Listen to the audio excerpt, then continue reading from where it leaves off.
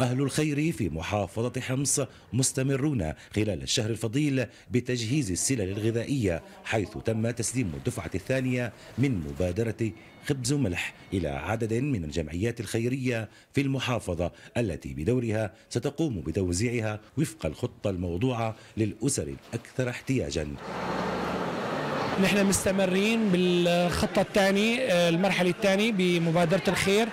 المبادرة اللي أطلقتها السيدة الأولى مبادرة رمضان الخير عن طريق مبادرة خبز وملح مستمرين بالتوزيع عن طريق مؤسسة الشؤون الاجتماعية والعمل طبعا بسلع غذائية وقسائم مالية توزع عن طريق داتا معينة بتطبيق خبز وملح. ومثل ما نعم نشوف كل يوم في عنا تجار وصناعيين جاد عم يقدموا معنا ويساهموا بهالمبادرة. شاركنا بهذه المبادرة بتوزيع 20 ألف سلة توزع على الجمعيات الخيرية في مدينة حمص.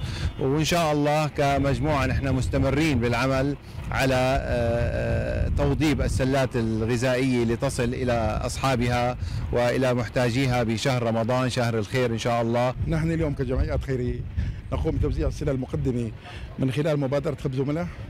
والموضوع وفق معايير وضعتها الشؤون الاجتماعية والعمل والمحافظة والهدف الوصولي لأكبر عدد من العائلات الأكثر احتياجا خلال الشهر الكريم. وهذا واجبنا كسوريين نكون مع بعضنا دائما. تم الاتفاق على هذه المبادرة الاجتماعية بالتنسيق مع مجلس محافظة حمص لتوزيع الإعانات الغذائية على السادة على المواطنين المحتاجين والمواطنين المتضررين من جراء الأعمال الإرهابية في سوريا وفي خاصة بشكل بمحافظة حمص. الهدف من المشاركة مساعدة الناس والناس اللي محتاجين من من قبل تجار حمص وأهالي حمص اللي مقتدرين انه يقدروا يقدموا يعني لو جزء بسيط للناس اللي بحاجه بهالظروف اللي عم تمرنا فيها البلد وهالظروف الصعبة. إن شاء الله السنة راح تكون عدد سلات كبير بنحسن آه نكون شوي مع هالناس يعني بهالظرف اللي عم تمر فيه آه البلد.